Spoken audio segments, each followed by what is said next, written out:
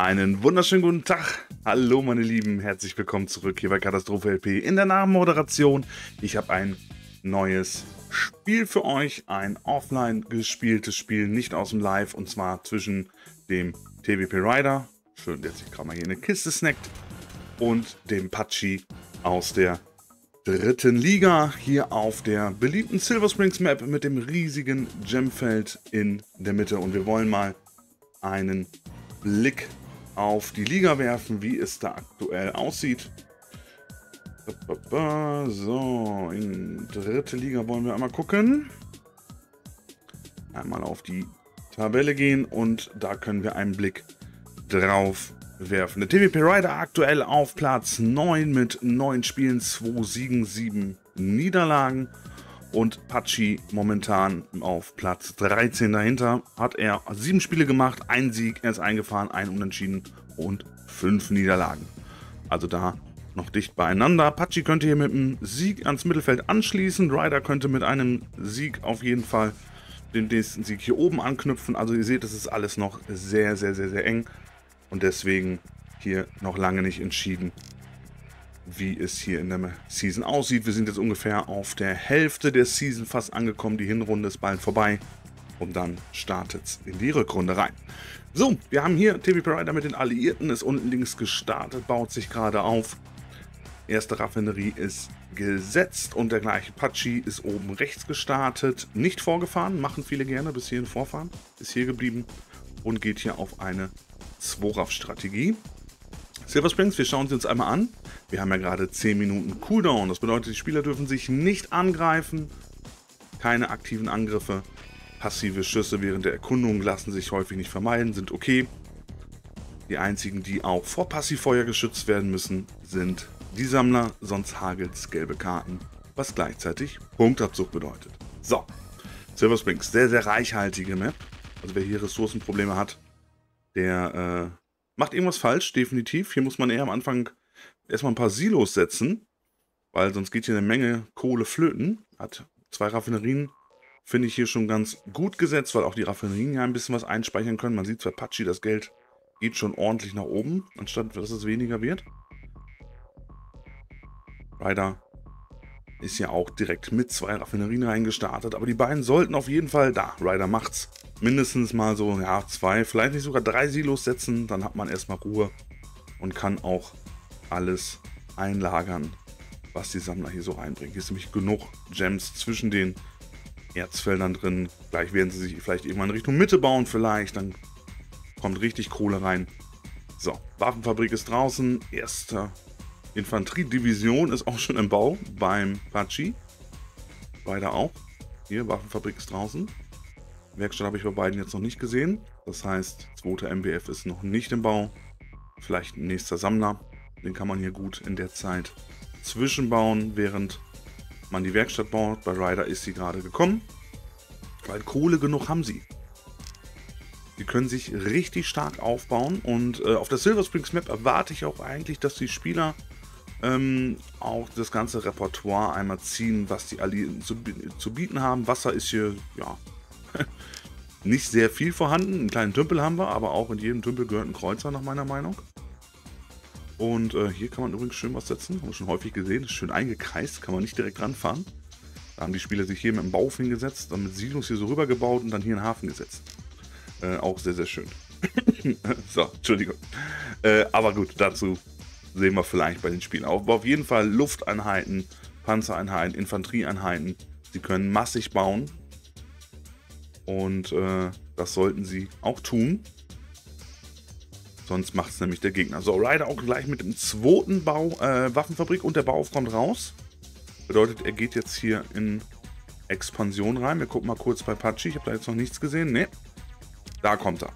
Ein paar Sekunden hinter Ryder aber nicht schlimm, weil Ryder pennt hier nämlich wieder, Bauch steht nämlich rum und somit haben die beiden ungefähr wieder ausgesehen. Oh, bei Patschi steht da auch rum, der Bauch. Ja, ja, ja. Man merkt, ähm, man guckt hier wirklich auf jede Sekunde. Das kommt auch teilweise wirklich darauf an. Gerade wenn man hier sich um eine Position kloppen will, weil Ryder ist, hat schon bis hier vorne hin erkundet. Also es könnte sein, dass er jetzt nicht nach hier hin fährt, auf diese Position, wo er gerne hinfährt, sondern dass er direkt durchfährt und sich hierhin baut und somit vielleicht sogar versucht, Pachi das streitig zu machen. Pachi geht nämlich nicht in die Mitte. Okay, muss man wirklich auch nicht zwangsläufig. Man kann seinem Gegner auch wirklich die Mitte überlassen. Ähm, ist aber nicht ungefähr, äh, taktisch nicht immer die beste Lösung. Oh, hier ist leider mal kurz auf Null gefallen gerade. Ja, am Anfang verzeiht man das noch, aber ist schon merkwürdig. Komisch eigentlich, dass er auf Null fällt, weil er hat hier drei Sammler. Ja, der fährt ein bisschen quer. Der sollte eigentlich auch hier oben sammeln. Der hat viel, viel zu lange Wege. So, Ryder baut sich hier auf. Ist nicht durchgefahren bis zur anderen Seite, obwohl er es sieht. Wir können auf Ryders Sicht umschalten. Das können wir in der, in der Nachmoderation, nämlich das geht im Live nicht. Er hat hier schon soweit bis rechts. Hier läuft er gerade durch mit einer Erkundungseinheit. Bis hierhin hat er erkundet, deswegen weiß er, dass Pachi noch nicht hier ist. Ja, und Pachi hat es nicht gemacht und das ist gefährlich. Er bekommt zwar gleich irgendwann als Alliierter die Vollsicht mit seinem Tech-Zentrum und nach 5 Minuten den Satelliten, aber am Anfang ist die Erkundung mega wichtig, um zu wissen, was sein Gegner macht. Hat hier jetzt nur ein Kraftwerk dagelassen, baut sich jetzt hier schon weiter. Will also stark expandieren. Aber weiß nicht, dass Ryder hier in der Mitte sitzt, weil er nicht erkundet hat. Darf man nicht vernachlässigen. Auf gar keinen Fall. So, steigt ja auch in die Panzerproduktion ordentlich ein. Ryder fängt auch an, Panzer zu produzieren. Ist schon wieder auf Null gefallen. Wundert mich. Ja, der eine Sammler hier, der ist viel zu weit weg. Der gehört nach hier oben. Da kann er locker noch einen dazusetzen. Ich meine, er wird sich gleich erholen, wenn er hier in eine Raffinerie gesetzt hat, aber verliert natürlich wertvolle Zeit, wenn er immer wieder auf Null fällt. Dann der Bau von allem, was er baut, gestoppt wird. Man sieht schon einen Unterschied. Bei Pachi durchgehend Panzerproduktion. Rider sind noch nicht so viele Panzer rausgekommen. Hier ein paar. Die hat er auch schon, er hat schon früher angefangen zu bauen. So, klappt hier wieder ein. Raffinerie ist draußen. Das heißt ja auch bei Ryder wird es gleich wieder richtig laufen. Wo will er jetzt hin? Andere Seite vielleicht? Oder zieht er weiter? Sieben Minuten haben wir durch von den 10 Minuten Cooldown. Das heißt nicht mehr lange. er zieht nach unten mit seinem Bauhof. Will hier unten irgendwo hin. Wird gebaut. Ist grundsätzlich nicht verkehrt. Wundert mich aber, dass er diese Position hier nicht nimmt. Patschi könnte sie sich gleich noch holen, dass er wirklich die Mitte so ein bisschen einkreist, weil sie ist leichter zu verteidigen hier auf der Enge. Das ist mal schön, schön eingebaut. So, das ist Passivfeuer in der Erkundung. Wird gebaut. Weiter fährt aber schon weg. Ah, Patschi hinterher, vorsichtig. Auch hinterherfahren ist eine Art von Aggression. In Ordnung. Konstruktion. Muss er aufpassen. Ne, er fährt außer Feuerreichweite. So, Hachi baut sich hier wirklich eine Zweitbase auf. Zwei Raffinerien gesetzt. Kann man locker an diesem Feld machen. Wäre rechts vielleicht ein bisschen besser gewesen. Aber so kann sie auch noch hier dran gehen. Auf Dauer und zieht auch schon wieder weiter. So, was macht Ryder? Bau steht hier schon wieder rum. Typische Ryder Tours Aktion. Jetzt fährt er erst weiter. Hat hier auch nur zwei Raffinerien gesetzt. Das heißt, die komplette Einheitenproduktion findet immer noch hier hinten statt. Techzentrum ist draußen. Bei Pachi noch nicht. Ne, bei Pachi ist er noch nicht draußen. Das Pachi wird auf die Vollsicht noch warten müssen. Ryder wird sich vor ihm kriegen. Ähm, aber wie gesagt, die, die, Panzerproduktion, warum findet die hier nicht hier vorne statt? Hier gehört mindestens eine Waffenfabrik und eine Kaserne vielleicht sogar hin. Hier hinten kannst du gerne Helis weiterbauen, wenn du möchtest, weil Geld genug hat er ja wieder mittlerweile. Von hier hinten viel zu lange Wege. Die Panzer müssen sich immer hoch bewegen. Und deswegen kein gutes Zeichen. So, baut sich hier auf, fährt weiter. Den Blitz, den ihr gerade gesehen habt, das war der 9-Minuten-Blitz. Bedeutet das Zeichen für die Spieler eine Minute. Dann würden sie weitermachen. Nächster MBF beim Pachi. So, hier hat er seinen Bau ein bisschen hochgezogen. Will jetzt hier vielleicht eine Raffinerie platzieren. Hat schon mal ein Kraftwerk nach oben hingesetzt. Also hier kommt wirklich eine zweite Vollbase. Konzentriert sich so auf den nördlichen Teil der Map. Ryder ist auf dem Weg in die untere rechte Seite, ja, aber nicht zu weit. Was willst du da unten? Hier schon gut. Ja, muss mal wieder umdrehen. Aber produziert weiterhin nicht in der Mitte seiner Einheiten. Das ist nicht gut. Oh, hier zwei MBFs sogar von Bachi. Schön, aber muss auch mal bewegen. Da stehen sie rum, da machen sie nichts. Jetzt ist das Techzentrum drauf. Zum Ablauf der 10 Minuten Cooldown. Zweiter Blitz war da, dritter Blitz war da. Das heißt, 10 Minuten sind da. Patsche wird erst bei 15 Minuten seine Vollsicht kriegen. Ryder hat sie bereits. Und da Apache keine Schattengeneratoren gebaut hat, hat Ryder auch volle Sicht. Sieht hier eigentlich, dass die Base komplett unbewacht ist. Also er müsste eigentlich straight jetzt hier links reinziehen. Was er jetzt da oben will, weiß ich nicht. Hier musst du hin, Ryder. Weil Apache fängt jetzt hier an zu produzieren. Also jetzt hast du die Chance, da reinzufahren. Wir sind mal auf Ryders Sicht gerade. Dann sehen wir auch seine Aktionen. Pachi fährt ihm hier hinterher. Will ihn um dicht machen. Jetzt zieht er nach links. Hätte er sofort machen können. Ja, Pachi ist in Bewegung, fährt ihm natürlich hinterher. Klar, sicher, diese Base hier, die wird jetzt fallen, wenn er nichts tut. Die mickrigen vier Panzer, die können nichts ausrichten. So, muss sich hier weiter konzentrieren. So, die Aufnahme beschleunigt. Wir gehen ein Stück wieder zurück. Das macht sie gerne nach 10 Minuten mal. Ich muss ein paar Sekunden zurückgehen. Dann läuft sie wieder auf normaler Geschwindigkeit.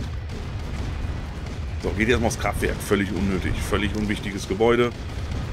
Kanonentürme klar mitnehmen. Jetzt hier Techzentrum, Waffenfabrik auch. Auch die Bunker, nicht wichtig. Die machen nicht viel Schaden an deinen Panzern. Nimm dir erstmal die wichtigen Gebäude raus. Durchziehen. Jetzt die Waffenfabrik. Hinterherfahren. Die beiden Raffinerien rausnehmen. Weiterfahren. Nicht hier ins Panzerfeuer rein. Dann verliert er nur Panzer. Verstärkung kommt auch von unten nach. Pachi hat ganz, ganz viel Infanterie gebaut. Jetzt zieht er weiter. Sehr gut. Sollte sich aber auch dann gleich schnell zurückziehen und nicht alle Panzer hier opfern. Weil die Panzer, die hier übrig bleiben bei Pachi, ziehen gar nicht nach. Doch jetzt. Ähm, die zerlegen seine Panzer jetzt hier lang nach und nach. Da er sich ja nicht auf den Panzerkampf eingelassen hat, muss er gucken, dass er sich nicht seine komplette, komplette Einheitenstärke jetzt hier opfert. Zieht hier in der Mitte schon wieder zusammen. Könnte natürlich jetzt versuchen, hier durchzuziehen direkt, da ja gerade die Panzer hier hinten beschäftigt sind. Radar nimmt er sich auch noch vor. Quatschi gleich sogar ohne Radarsicht. Oben hat er kein zweites. Ne, Techzern hat er auch schon mal nachgebaut. Aber das Radar wird sich weiter auch noch holen. Um Pachi hier erstmal wirklich auch radarblind zu machen. Äh, Ryder, hier. Äh, steht noch. Ja. Warum er wegfährt, weiß ich nicht. Er tut's. So, fährt auch hier jetzt in der Mitte einmal durch. Wo will er hin? Ja, muss aufpassen. Könnte sich die Sammler natürlich vornehmen. Hat ja hier oben schon der Eco einen Schlag versetzt. Muss jetzt aber auch links unten aufpassen.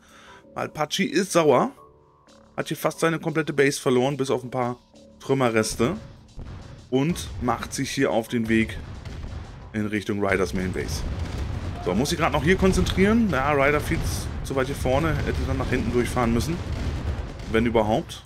Aber muss sich jetzt eigentlich erstmal hier konzentrieren, weil hier hinten ist seine einzige Base. Hier hinten hat er keine. Ich weiß gar nicht, wo sein MBF die ganze Zeit rum, rumfährt. Können wir gerade nicht nachsuchen, weil jetzt wird es kritisch hier. Und ich würde behaupten, das kann er nicht abfangen. die Panzer sind ein bisschen angeschossen, aber wenn Patschi jetzt Gas gibt... Ja, genau, nimm mal den ersten Vorschuss ruhig raus. Weil das ist die einzige Verteidigung aktuell hier. Ja, alles Defensivfeuer gerade. Nicht gezielt, richtig sieht das aus. Doch, jetzt wieder.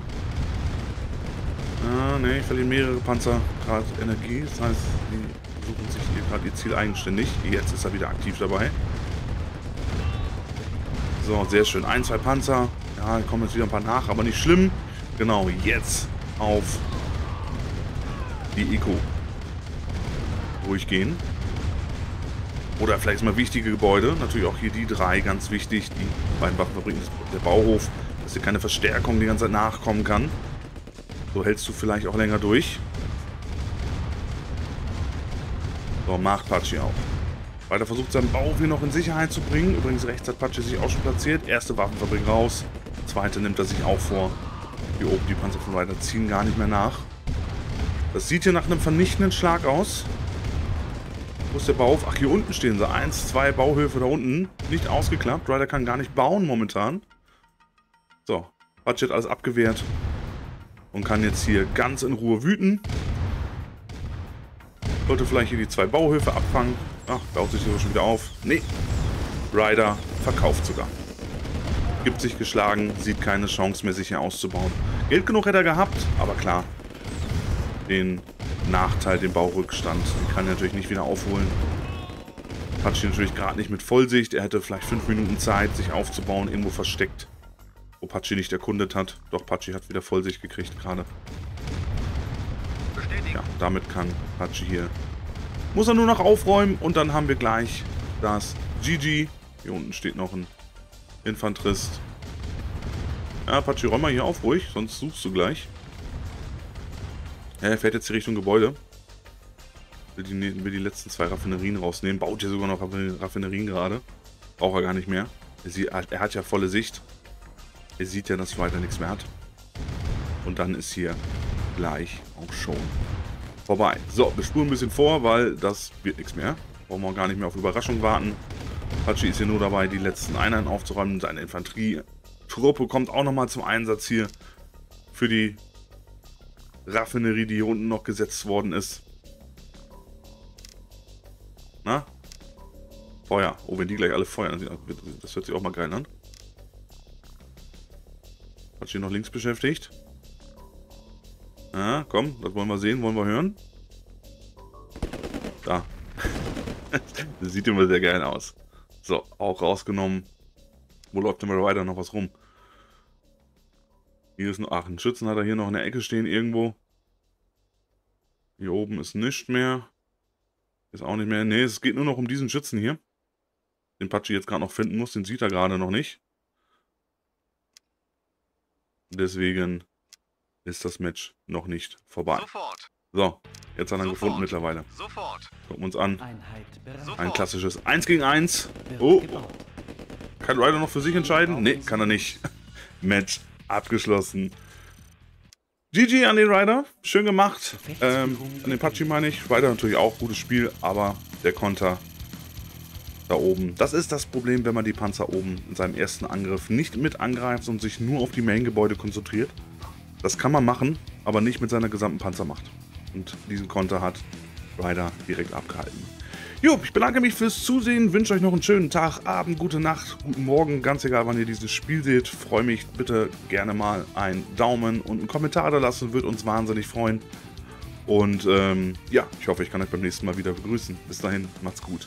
Ciao, ciao.